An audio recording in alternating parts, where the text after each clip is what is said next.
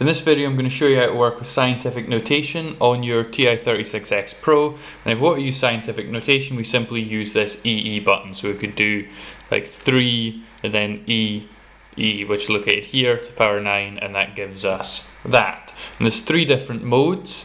We've got norm mode, um, so if you go to mode you'll be given this choice in the second line, norm, sci and then eng.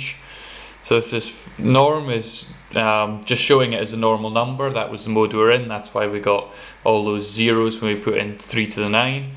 And this works up to the powers of 10 when it starts to go into scientific notation. So 10 to the 10 is the first one that goes scientific in this mode.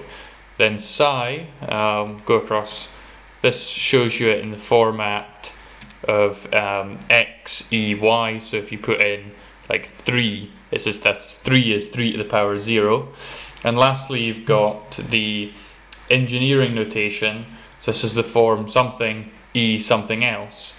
And the y is always a power of 3, so y divided by 3 is an integer. So I'll just show you that quickly. So in engineering mode, you get things like 300, um, 3000 would be like that. Add another zero. And you should spot the pattern.